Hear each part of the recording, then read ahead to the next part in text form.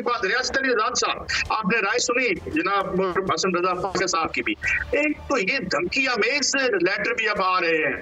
तो ये क्या, ये लगता है कि जिस तरह इस लिबरल डेमोक्रेसी का जो ढांचा है, कुछ हिल गया है। आप इसे एक समझते हैं इसकी क्या कॉनोटेशन होगी और ये इसके क्या असरात होंगे कि जुडिशरी जो है, इस तरह से अगर इसको दबा दिया गया तो फिर जमहूरियत और ये सारी पार्लिमानी जमहूरियत और ये खेत तो बेमानी हो जाएगा। रियासत अली आज़ाद साहब। मैं ये कहता हूँ कि ये एक साजिश भी हो सकती है कि चूँकि अभी लोहा गर्म है, दो इदारों के दरमियान एक कन्फ्रंट्रेशन चल रही है तो मुमकिन है कोई तीसरी ताकत भी इसमें हो सकती है जो इसको मज़ीद आग लगा रही हो। लेकिन अगर ऐसा नहीं है तो फिर इसके इशारे इंसान है सोचते हुए कि जी इसकी कड़ियाँ कहीं सबका जो मामला चल रहा है कहीं उससे तो नहीं मिलती। तो इस हवाले से तो इन्वेस्टिगेशन होगी तो पता चलेगा कि कौन इसके अंदर मुलविस है। मैं चाहता हूँ कि आपसे ज़्यादा से ज़्यादा इस्तेफादा हो सके। एक और इशू भी आया है हसन रजा साहब मैं आपसे ये एक्स या ट्विटर की वजह से कौमी सलामती कहते हैं जी हुकूमत सरकार का मौकफ है कि ये खतरे में जाती है। तो क्या ये कोई आज़ादी राय राय है उसकी लिमिटेशन होनी चाहिए?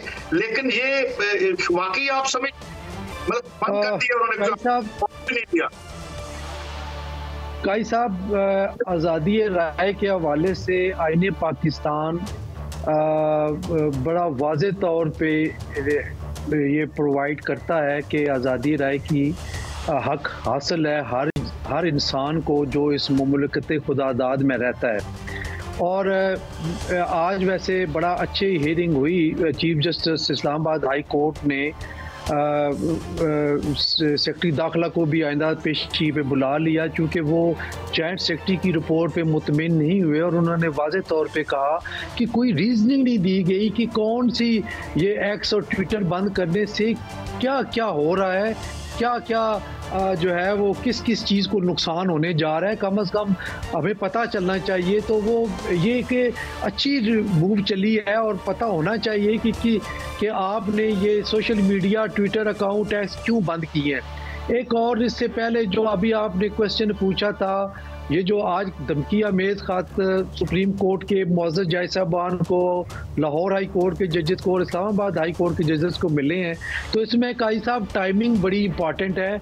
आप देखें कि जब भी सुप्रीम कोर्ट ऑफ़ पाकिस्तान ने सुओ मोटर लेने का फैसला किया साथ ही ये खत आने शुरू हो गए। कोई एडवेंचर करने वाला है या कोई तीसरी कुत है जो ये कर, ये करने जा रही है?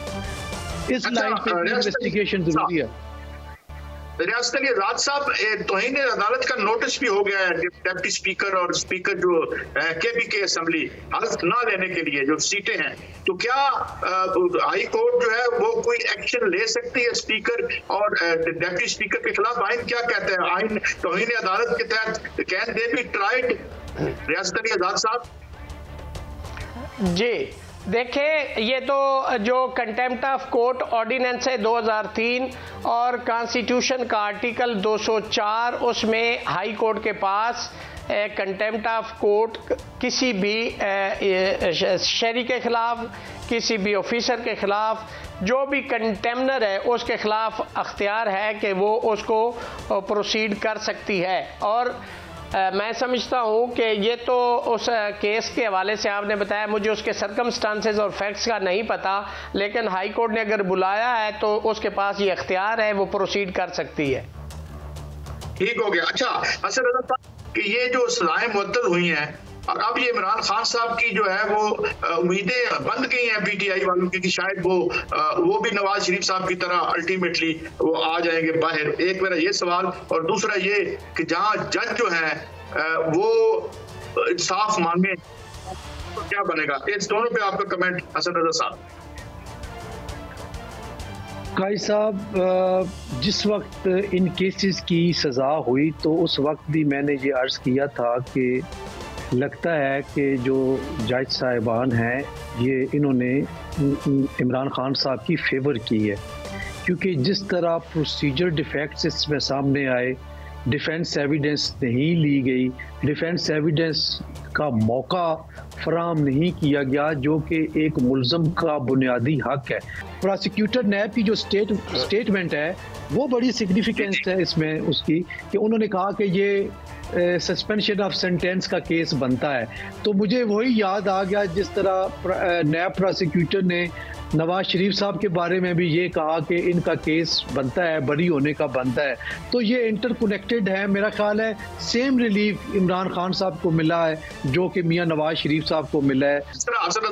कह रहे हैं, साइफर केस में भी इसी तरह से डिफेक्टिव और जिस तरह वो मुबैना तौर पर कह रहे हैं फेवर की गई है, खान साहब को जो प्रोसीडिंग है ताकि आगे जाके केस खत्म हो जाए, आज़ाद साहब।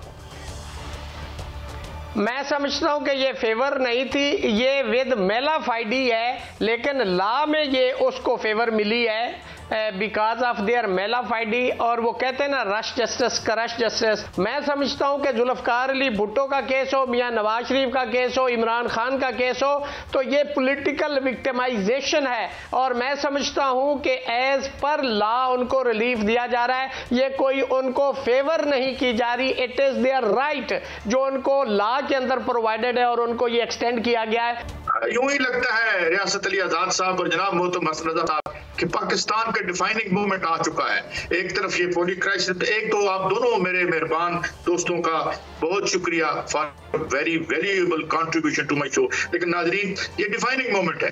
ये पोली क्राइसिस जिसे कहते हैं लास्ट टाइम कहा था, किसी जगह पे कहा गया था। तो ये, इस क्राइसिस से अब निकलना है और यहाँ ही हमने डिफाइन करना है कि हम कौन है और हम क्या है। एक ब्रेक है। ब्रेक के बाद वापस आएँगे तो बात करेंगे नून लीग के लोग खुद अपनी हुकूमत से नाखुश क्यों है?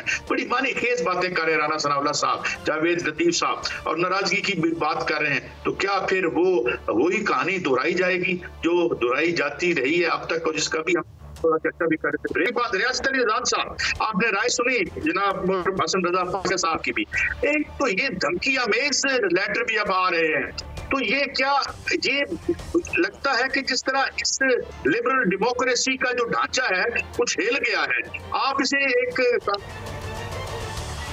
समझते इसकी क्या कॉनोटेशन होगी और ये इसके क्या असरात होंगे कि जुडिशरी जो है, इस तरह से अगर इसको दबा दिया गया तो फिर जमहूरियत और ये सारी पार्लिमानी जमहूरियत और ये खेत तो बेमानी हो जाएगा। रियासत अली आज़ाद साहब।